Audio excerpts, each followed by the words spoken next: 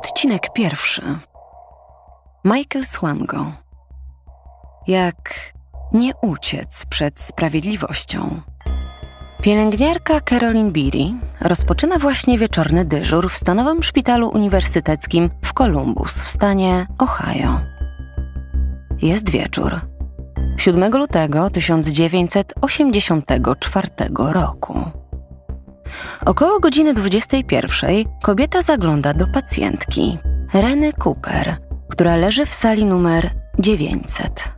69-latka wraca do zdrowia po niedawno przeprowadzonej operacji pleców. Kiedy pielęgniarka wsuwa głowę przez drzwi, dostrzega jak Michael Swango podłącza strzykawkę z lekiem do wenflonu pacjentki. Przynajmniej takiej się wydaje. Tymczasem lekarz opuszcza pomieszczenie. Siostra Carolyn kontynuuje swój obchód, doglądając innych pacjentów na oddziale, a kilka minut później słyszy krzyki z sali numer 900. Sąsiadka Reny Cooper woła o pomoc. Pielęgniarka wraca pośpiesznie i znajduje trzęsącą się gwałtownie, wpadającą w konwulsję Renę. Pacjentka jest sina na twarzy, z trudem łapie powietrze, a po chwili całkowicie przestaje oddychać. Do sali wpada cały zastęp lekarzy i pielęgniarek, którzy przystępują do reanimacji. Przez 15 minut dają z siebie wszystko. Po wprowadzeniu rurki do tchawicy, pani Cooper odzyskuje oddech i powoli dochodzi do siebie. Usiłuje coś z siebie wydusić, a następnie prosi o notatnik, by zapisać w nim dokładnie dwa zdania. Ktoś wprowadził mi coś do kroplówki oraz kim był ten lekarz o blond włosach. Słuchasz historii Michaela Swango. To seryjny morderca i truciciel, który krąży od ofiary do ofiary, od szpitala do szpitala, z państwa do państwa, a nawet z kontynentu na kontynent. W latach 1983-1997 pracuje w szpitalach w południowej Dakocie, Virginii, Nowym Jorku i Zimbabwe. Ten niebieskooki lekarz o jasnych włosach zbyt długo pozostaje bezkarny. Ucieka przed swoją przeszłością, przed organami ochrony zdrowia, a nawet przed FBI. Kryminały medyczne. Mordercy w bieli. Podcast o przestępstwach medycznych. Nazywam się Agnieszka Więdłocha.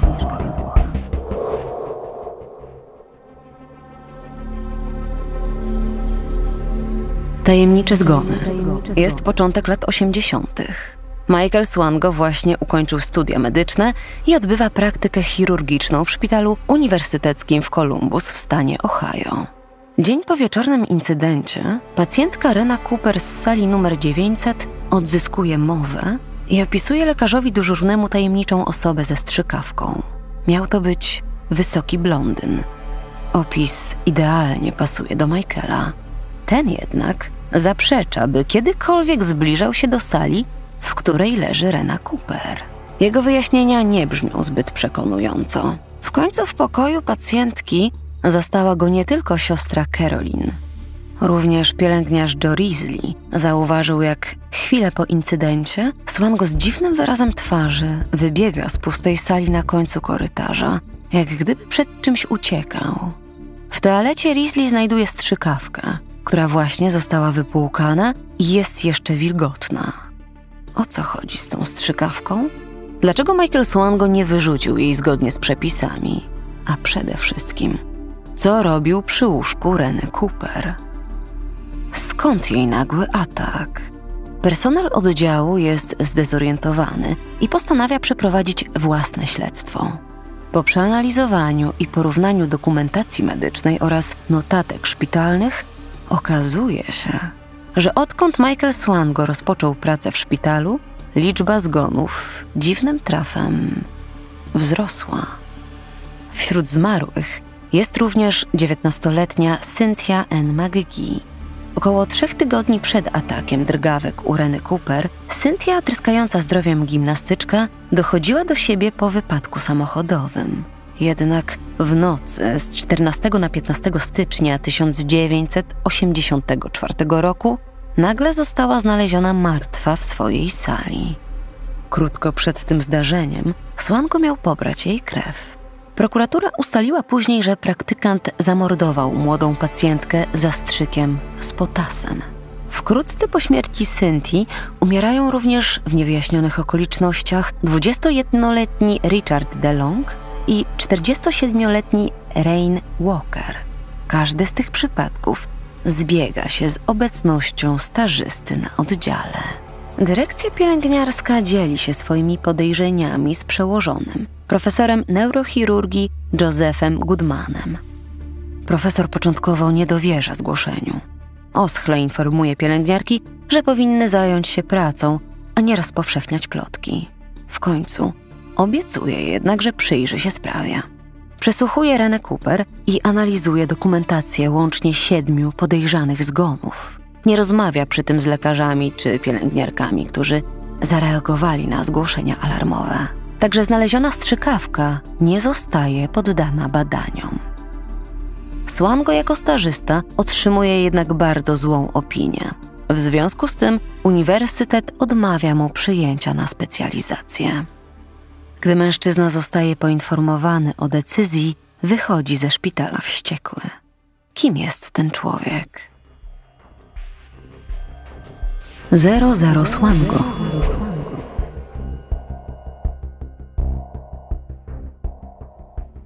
Joseph Michael Swango przychodzi na świat 21 października 1954 roku w stanie Waszyngton w rodzinie wojskowego i gospodyni domowej. W 1967 roku wszyscy przenoszą się do Quincy w stanie Illinois. Ze względu na ojca, Virgila, pułkownika armii amerykańskiej, rodzina Swango przeprowadza się aż 16 razy. Virgil służy również w Wietnamie. Podczas gdy matka Miriel coraz bardziej oddala się od męża alkoholika, syn Michael staje się szkolnym prymusem. Nauczyciel z gimnazjum opisuje go jako fenomenalnego klarnecistę, jednego ze swoich najlepszych uczniów. Przyćmiewa on osiągnięciami dwóch braci, Boba i Johna, oraz przyrodniego brata Richarda. Michael kończy szkołę średnią w 1972 roku jako klasowy prymus, a w teście predyspozycji do koledżu osiąga aż 97%. Z IQ równym 160 zyskuje miano geniusza. Geniusza z zamiłowaniem do mrocznych aspektów życia. W wolnym czasie wertuje gazety w poszukiwaniu szokujących historii kryminalnych i zakłada album z artykułami o katastrofach samochodowych i lotniczych, krwawych zamachach wojskowych oraz brutalnych przestępstwach seksualnych. Po dwóch latach służby w amerykańskiej piechocie morskiej, w wieku 24 lat, rozpoczyna studia na Uniwersytecie Medycznym w południowym Illinois. Tutaj jego problemy po raz pierwszy wychodzą na światło dzienne. Uważany jest za leniwego studenta, który zamiast skupić się na studiach, woli pracować w karetce pogotowia ratunkowego. Pewnego razu nie umie określić położenia ludzkiego serca na zdjęciu rentgenowskim, z czym powinien poradzić sobie nawet początkujący student. Innym razem na zajęciach z anatomii partaczy sekcję zwłok do tego stopnia, że ciało zostaje wystawione na widok publiczny ku uciesze całego uniwersytetu. Jednak Swango nawet nie zauważa kpin ze strony studentów. Z trudnością integruje się z otoczeniem. Wyróżnia się na tle innych nosząc mundur piechoty morskiej. Wszyscy mają go za wycofanego introwertyka, który przejawia wręcz fanatyczną dbałość o sprawność fizyczną. Wystarczy, że wykładowcy przyłapią go na najdrobniejszym błędzie, a on natychmiast kładzie się na podłogę i zaczyna robić pompki. Za karę, jak w wojsku. Niektórzy studenci opisują go jako psychopatę. Słonko wykazuje również wielką fascynację umierającymi pacjentami, jak gdyby nie mógł się doczekać, aż wyzioną ducha. Po każdej śmierci pacjenta, ten młody student medycyny ma w zwyczaju pisać na szpitalnej tabliczce grubymi czerwonymi literami słowo died, czyli zgon. Gdy któregoś razu kolega pyta Michaela, jak może być tak nieczuły, ten odpowiada, że śmierć to nic nadzwyczajnego. A przytrafia się ona znacznie częściej, gdy Swango jest w pobliżu. Jego znajomi, pół żartem, pół serio, zaczynają nazywać go 00 Swango. to aluzja do Jamesa Bonda 007 z licencją na zabijanie. Kiedy w 1982 roku umiera ojciec Michaela, z którym chłopak nie utrzymywał bliskich stosunków, matka przekazuje mu kilka osobistych rzeczy zmarłego. Wśród nich znajduje się album wypełniony artykułami i zdjęciami z najgorszych katastrof na świecie. Od zamachów po masowe morderstwa. Z ojca był całkiem niezły gość, zauważa Michael. Chłopak zainspirowany manią kolekcjonerską ojca zbiera w segregatorze coraz więcej świadectw krwawych wydarzeń. Jego zbiór mrocznych publikacji staje się coraz bardziej rozbudowany. Pewnego wieczoru kolega pyta go o tę dziwną obsesję na punkcie śmierci. Jeśli kiedykolwiek zostanę oskarżony o morderstwo, odpowiada Michael, ten zbiór stanie się dowodem na moje zaburzenia psychiczne. Na miesiąc przed ukończeniem studiów Swango zostaje przyłapany na symulowaniu badania profilaktycznego podczas odbywania stażu na oddziale położnictwa i ginekologii. Sporządza raport o pacjentce, nawet nie rozpoczynając badania. Komisja dyscyplinarna przegłosowuje jego zwolnienie. Chłopak dostaje jednak drugą szansę i po kolejnych dziewięciu miesiącach udaje mu się pomyślnie ukończyć naukę. Ocena? Dostateczna. Następnie rozpoczyna wspomniany staż chirurgiczny w Columbus w stanie Ohio, podczas którego ma miejsce incydent z Reną Cooper, a ponadto dochodzi do tajemniczych zgonów i to zawsze wtedy, kiedy dyżur pełni Swango. W tym miejscu historia mogłaby się zakończyć, gdyby tylko podjęto się dokładniejszego zbadania wspomnianych incydentów. Być może położyłoby to kres mrocznej karierze początkującego lekarza. Swango nie dostaje bowiem zgody na dalszą specjalizację. Trujące przekąski.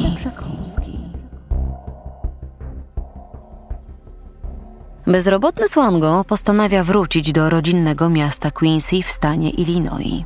Tam w lipcu 1984 roku znajduje pracę na szpitalnym oddziale ratunkowym hrabstwa Adams. Niektórym w jego zespole wydaje się to dziwne, że ktoś z wykształceniem medycznym zostaje zwykłym ratownikiem.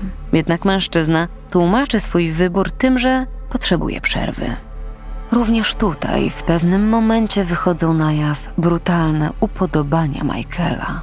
Podczas oglądania programu telewizyjnego o słynnym seryjnym mordercy mówi do kolegi, Marka Krzysztofczyka, czy to nie byłoby wspaniałe? Podróżować po kraju i zabijać ludzi. Tak po prostu chodzić i szukać kolejnych ofiar. Cóż za cudowny sposób na życie. Wszyscy jednak biorą powiedzenia Swango za puste frazesy i czczą gadaninę. Do czasu. Do czasu incydentu z pączkami. Jak to się w pracy zdarza, pewnego dnia ku uciesze ratowników medycznych na dyżurze, Michael przynosi do pracy pudełko świeżo upieczonych pączków. Wszyscy z wielkim apetytem rzucają się na smakołyki. W ciągu następnej godziny cały zespół dostaje mdłości. Skurcze żołądka, zawroty głowy i wymioty pojawiają się u wszystkich, z wyjątkiem Michaela Swango. Jako jedyny nie poczęstował się przyniesionymi pączkami. Jak wykazało późniejsze śledztwo, dodał do nich preparat na mrówki. 23 sierpnia 1985 roku trujące przekąski przynoszą Swango wyrok, skazujący za spowodowanie ciężkiego uszkodzenia ciała u siedmiu osób i pięć lat więzienia. O całej tej historii dowiaduje się również stan Ohio. Wyrok skazujący Michaela Swango jest przyczyną, dla której w szpitalu uniwersyteckim w Columbus wznowione zostaje śledztwo. Czy może to rzucić nowe światło na tajemnicze zgony, jakie miały miejsce podczas studiów medycznych Michaela? Władze nakazują ekshumację pacjentów Swango, którzy umarli w niewyjaśnionych okolicznościach. Co najmniej jeden z nich, Ricky DeLong, bez wątpienia został uduszony. Pomimo tego, że Swango zaznaczył w akcie zgon z przyczyn naturalnych. W tym momencie prokuratura rozważa, czy nie przedstawić mu zarzutu morderstwa i usiłowania zabójstwa, ale rezygnuje ze względu na brak dowodów. Ucieczka od przeszłości. Po odbyciu zaledwie dwóch z pięciu lat kary pozbawienia wolności, Swango zostaje zwolniony za dobre sprawowanie 21 sierpnia 1987 roku. Jednak w stanach Illinois czy Ohio nie może już pracować. Podejmuje więc decyzję, że dalszą karierę będzie robić w Virginii. Postanawia pojechać do portowego miasta Newport News. To miejsce znacząco różni się od poprzednich Quincy czy Columbus. Przesiąknięte morską bryzą Newport News leży na brzegu portu Hampton Roads w niewielkiej odległości od Virginia Beach i Oceanu Atlantyckiego. I choć Swango przejechał od swojego rodzinnego miasta prawie tysiąc mil, czyli około 1600 kilometrów, przeszłość wciąż depcze mu po piętach. Kiedy próbuje uzyskać prawo wykonywania zawodu w Virginii, czujne władze odrzucają jego wniosek. W dotychczasowej karierze mężczyzny znajduje się bowiem kilka niewyjaśnionych, budzących podejrzenia faktów. Młody lekarz bez namysłu zatrudnia się jako doradca zawodowy, ale wkrótce zostaje zwolniony, ponieważ w godzinach pracy uzupełnia swój album o katastrofach. Nie zagrzewa miejsca również jako technik laboratoryjny. Kilku pracowników woła o pomoc, skarżąc się na uporczywe i nasilające się bóle brzucha. Widocznie zapomnieli lub nie wiedzieli, że Michael został skazany za zatrucie kolegów pączkami. Jak uciec od. W 1991 roku w życiu Swango pojawia się kobieta. To Christine Lynn Kinney. Piękna, rudowłosa 26-latka, świeża po rozwodzie. Poznają się w szpitalu Riverside w Newport News i zakochują się w sobie. Christine, która w wolnym czasie pomaga bezdomnym jako wolontariuszka, jest również pielęgniarką. Michael robi właśnie kurs utrwalający wiedzę w jej szpitalu, ponieważ nie traci nadziei, że wkrótce znajdzie gdzieś pracę jako lekarz. I rzeczywiście, po złożeniu aplikacji do szeregu ośrodków opieki zdrowotnej w całym kraju, zaproszono go na studia doktoranckie na Uniwersytecie Południowej Dakoty w Sioux. Oczywiście Swango musi odpowiedzieć na kilka pytań dotyczących jego policyjnej kartoteki oraz karalności. Nie zdradza szczegółów ze swojej trucicielskiej historii. Nie przyznaje się, że został skazany na pięć lat więzienia za ciężkie uszkodzenia ciała w siedmiu przypadkach. Zamiast tego informuje, że siedział tylko sześć miesięcy i wyjaśnia, że uczestniczył w bijatyce w barze, w której kilka osób zostało rannych, a on wziął na siebie rolę kozła ofiarnego. Nikt nie kłopocze się z potwierdzeniem podanych informacji. To poważne niedopatrzenie, Większość stanów nie przyznałaby prawa wykonywania zawodu skazanemu zbrodniarzowi. A mimo to Swango osiąga sukces. Zostaje zatrudniony jako doktorant, z miejsca oświadcza się swojej dziewczynie Christine i oboje zaczynają snuć plany na przyszłość w południowej Dakocie. Michael nabiera pewności siebie. Jest październik 1992 roku. Do tej pory mężczyźnie podstępem udało się zyskać stanowisko doktoranta, mimo braku uprawnień do wykonywania zawodu. A teraz ubiega się o członkostwo w Amerykańskim Towarzystwie Medycznym, w skrócie AMA.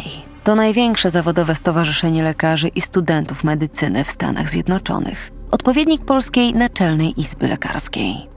Podczas rutynowej analizy dokumentów stowarzyszenie odkrywa, że Swango nie został skazany za bójkę w barze, lecz za otrucie kolegów z pracy.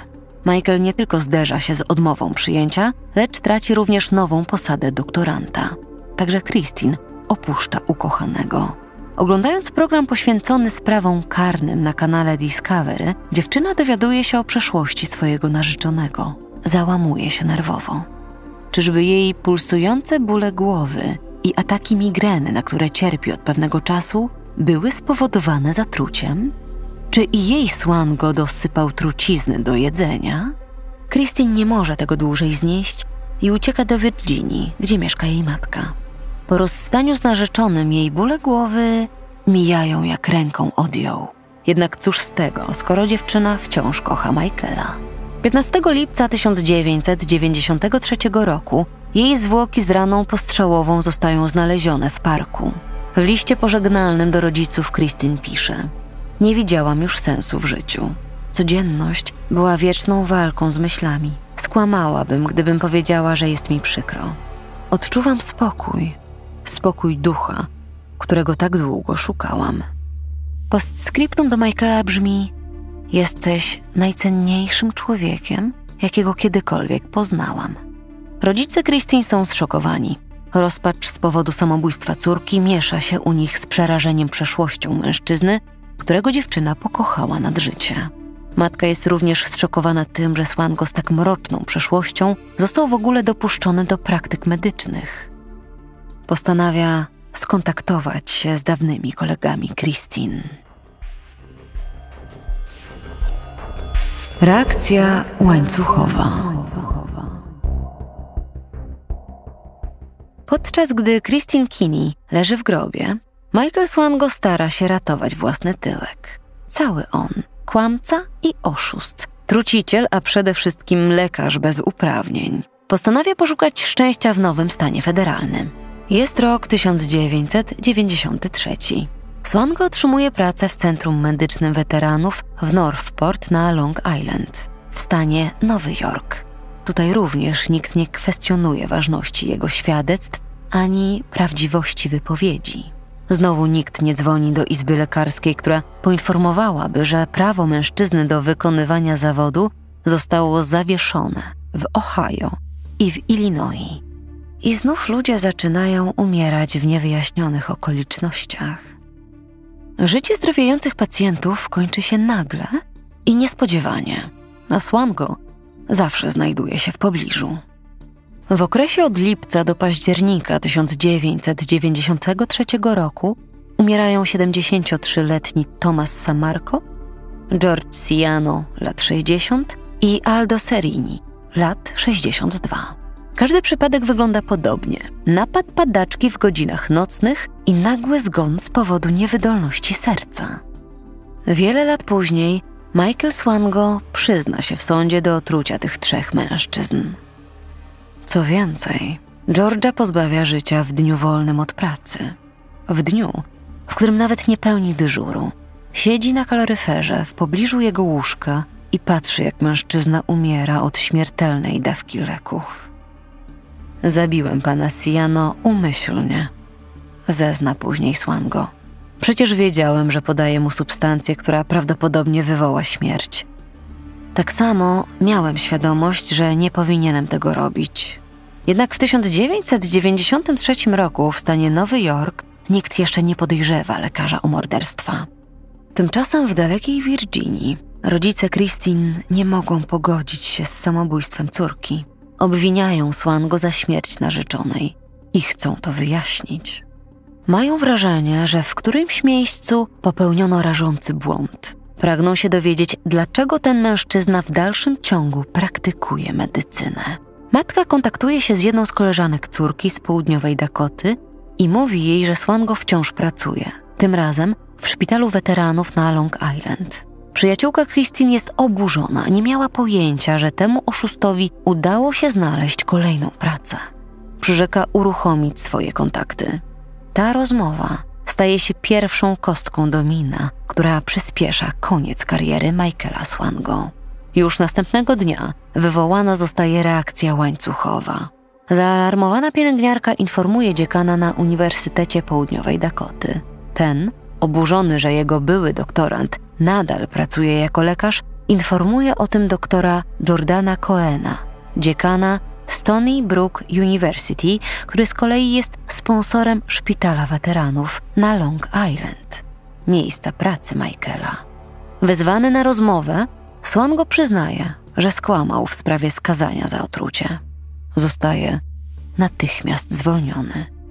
Dziekan Cohen informuje o tym również wszystkie 125 wydziałów medycznych i wszystkie tysiąc szpitali uniwersyteckich w całym kraju. Oznacza to, że uzyskanie przez Michaela Swango specjalizacji w Stanach Zjednoczonych staje się praktycznie niemożliwe. któregoś dnia Michael znika. Ucieczka przed FBI. Jako, że szpital dla weteranów jest placówką państwową, o całej sprawie poinformowane zostają również władze federalne. W połowie 1994 roku FBI dowiaduje się, że Swango przebywa w Atlancie w stanie Georgia. Jednak wydanie nakazu aresztowania przeciąga się, co umożliwia przestępcy ucieczkę. Na nowy dom zbrodniarz wybiera Zimbabwe z błękitnym niebem, eukaliptusowymi gajami i stepem, który ciągnie się aż po horyzont. Wystarczą sfałszowane dokumenty poświadczające o jego wybitnych zasługach w Stanach Zjednoczonych. Jest rok 1995. Słanko pracuje w luterańskim szpitalu misyjnym w odległym Mnene. Na początku nowy lekarz wykazuje entuzjazm. Kiedy się pojawił, myśleliśmy, że jest aniołem miłosierdzia, który przybył ratować ludzi. Mieliśmy tak mało lekarzy. Jedna z sióstr wspomina Amerykanina z rzadkimi blond włosami i donośnym głosem, który regularnie uczęszczał na zajęcia biblijne w kościele prezbiteriańskim. Wkrótce jednak przekonaliśmy się, że nie jest miłym człowiekiem. Okazało się, że to anioł śmierci. Swango udaje się na obchody samodzielnie i przepisuje poszczególnym pacjentom wiele lekarstw. Raz po raz na jego dyżurze umierają ludzie, którzy chorowali na zwykłe choroby lub pacjenci bliscy wyzdrowienia. Tak jak Roda Malamwana, która poparzyła się w wypadku domowym i właśnie wraca do zdrowia. Za kilka dni powinna opuścić szpital. Jednak kiedy pacjentkę przejmuje dr Swango, jej stan gwałtownie się pogarsza. Niedługo później kobieta umiera. Sytuacja wygląda podobnie w przypadku Katazo Szawy, który miał operowaną nogę. Swango wyprasza z jego sali grupę odwiedzających. Kiedy syn i siostra wraz z siostrzenicami i siostrzeńcami wracają do pomieszczenia, Katazo płacze. Krzyczy jako szalały. Lekarz coś mi wstrzyknął. Niedługo umrę. Rodzina uznaje, że Szawa ma halucynacje. Ale tego samego popołudnia mężczyzna zostaje znaleziony martwy. Kiedy Swango przejmuje opiekę nad Virginią Sibandą, pacjentka leży właśnie na sali porodowej. Kiedy pielęgniarki nie patrzą, lekarz pochyla się nad nią i podaje jej zawartość strzykawki, którą wyciąga z fartucha laboratoryjnego. W ciągu kilku sekund Virginia zaczyna odczuwać okropny ból. Wije się w konwulsjach i drży w agonii. Dziecko na szczęście przychodzi na świat zdrowe. Jeszcze tego samego wieczoru młoda matka opowiada zakonnicy o incydencie z ukradkowym zastrzykiem. Skonfrontowany z zarzutami Swango, tylko się uśmiecha, oskarżając pacjentkę o urojenia. Ale pielęgniarki stają się coraz bardziej nieufne wobec amerykańskiego lekarza. Myślałyśmy, że to właśnie on odpowiada za zgonę, ale był bardzo sprytny i nigdy nie przyłapaliśmy go na gorącym uczynku. Zeznaje później jedna z kobiet. Mimo wszystko Swango traci posadę, a w jego sprawie zostaje wszczęte dochodzenie. W domu mordercy przeszukujący znajdują 55 różnych rodzajów leków. Sądziłem, że jadę do dżungli, więc na wszelki wypadek wziąłem ze sobą własne lekarstwa. Wyjaśnia funkcjonariuszom lekarz, odgrywając rolę białego zbawcy, który przybył do Afryki, by pomóc biednym mieszkańcom tego kraju. Wkrótce staje się jeszcze bardziej bezczelny. Zatrudnia jednego z najwybitniejszych w kraju prawników zajmujących się prawami człowieka i pozywa szpital o niesłuszne zwolnienie. Zyskuje nawet poparcie sporej grupy chrześcijan, według których Swango padł ofiarą złośliwych plotek i zazdrości zawodowej. Nie zdają sobie sprawy, że w Stanach Zjednoczonych otruł własnych kolegów. Nie wiedzą również, że pozostawił po sobie ślad w postaci tajemniczych zgonów. Dopiero gdy władze w Zimbabwe nawiązują kontakt z władzami USA, przeszłość znów dopada Swango, nawet na drugim końcu świata. Kiedy w sierpniu 1996 roku mężczyzna nie stawia się na rozprawę sądową, wszyscy zaczynają rozumieć, że znów ucieka przed konsekwencjami. Przez prawie cały rok ukrywa się w sąsiedniej Zambii. W końcu składa podanie z fałszywym CV do szpitala królewskiego w Azezachranie. Jednak, by wjechać do Arabii Saudyjskiej, potrzebuje wizy. A żeby zdobyć wizę, musi wrócić do Stanów Zjednoczonych.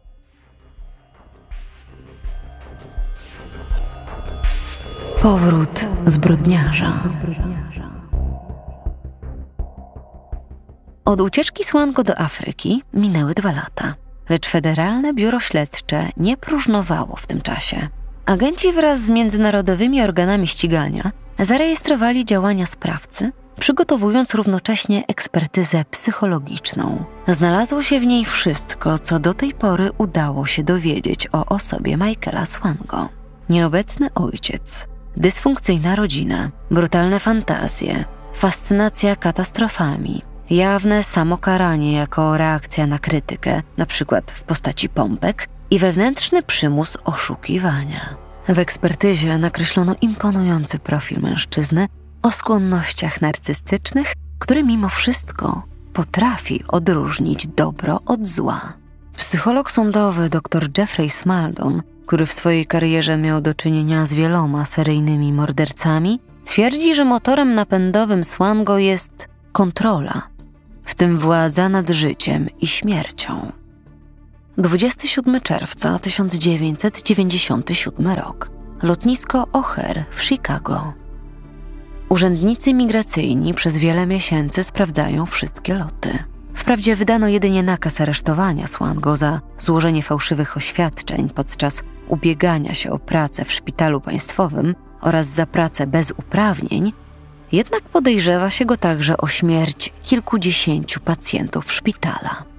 Podczas rutynowej kontroli zbiegłych przestępców w komputerze lotniskowym na ekranie nagle pojawia się nazwisko Michaela.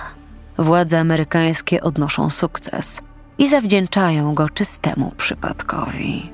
Swango wysiada z samolotu, by w Stanach Zjednoczonych odebrać wizę do Arabii Saudyjskiej. Jeszcze tego samego dnia planuje przelot do Riyadu.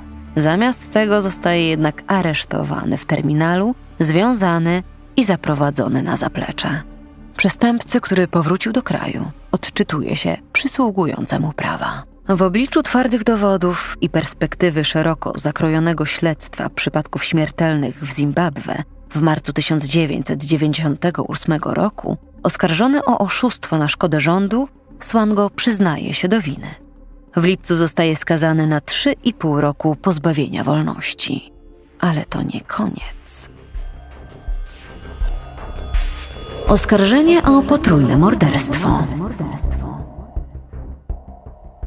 Swango przebywa w więzieniu, dzięki czemu władze zyskują czas, by poprzeć dowodami znacznie poważniejsze zarzuty. FBI gorączkowo przyspiesza śledztwo.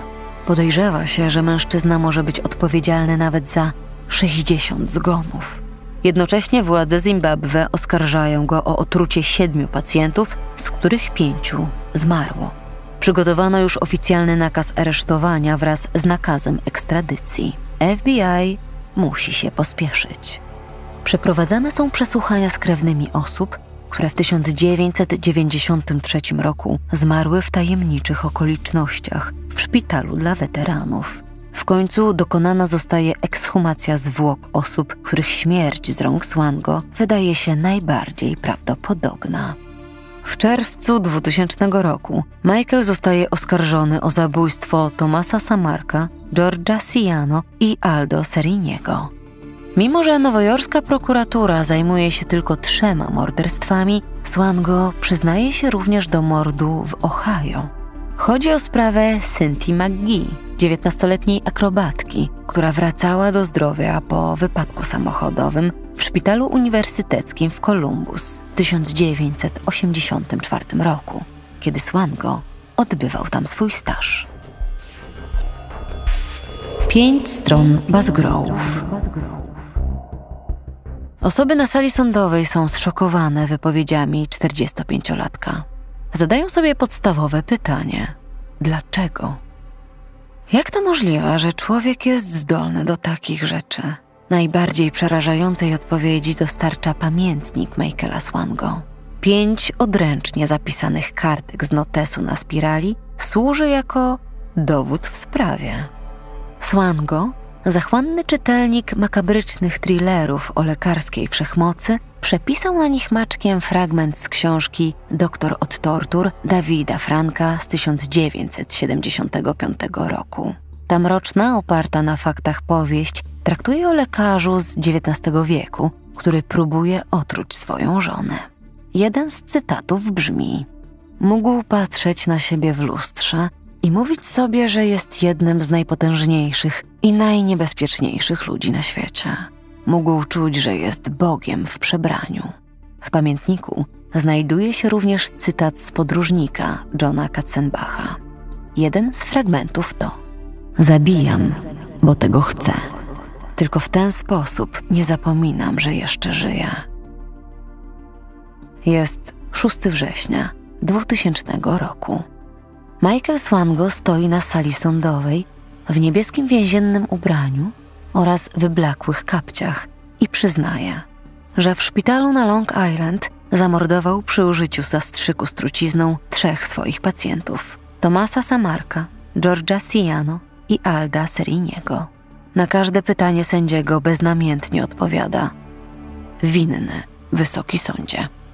Przyznając się do winy, unika nie tylko ekstradycji do Zimbabwe, lecz także ewentualnego wyroku śmierci w Nowym Jorku.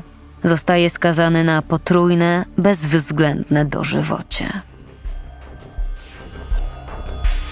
Późny żal. Miesiąc później, w październiku 2000 roku, Swango zostaje ponownie skazany na karę dożywotniego więzienia w stanie Ohio za zabójstwo 19-letniej Cynthia McGee. Przez 16 lat morderca dziewczyny pozostawał bezkarny. Michael przyjmuje werdykt bez słowa, lekko unosząc podbródek. Władze szpitala, w którym zamordowano Cynthię, żałują, że swego czasu zlekceważono alarmujące sygnały. Ten przypadek dowodzi, że środowisko medyczne ślepo ufało słowom kolegi. Czy udałoby się zapobiec dalszym morderstwom Michaela Swango, gdyby lekarze byli w stanie w odpowiedni sposób kontrolować siebie nawzajem? Pytanie to muszą sobie zadać również ci, którzy zaniedbali weryfikację informacji w kolejnych miejscach pracy mordercy. Ile czasu zajmuje wykonanie telefonu? Pięć minut? Swango mógł zabijać dzięki rażącym zaniedbaniom instytucji. One również powinny zostać pociągnięte do odpowiedzialności. Stwierdziła po skazaniu Swango Rosalinda Conroy, przybrana córka Georgia Siano. Wszędzie pozostawiał za sobą ślad śmierci. Jest gorszy niż zwierzę. Zwierzęta nie zabijają dla przyjemności. Michael Swango trafił do zakładu karnego o zaostrzonym rygorze we Florence w stanie Colorado. Prawdopodobnie już nigdy go nie opuści.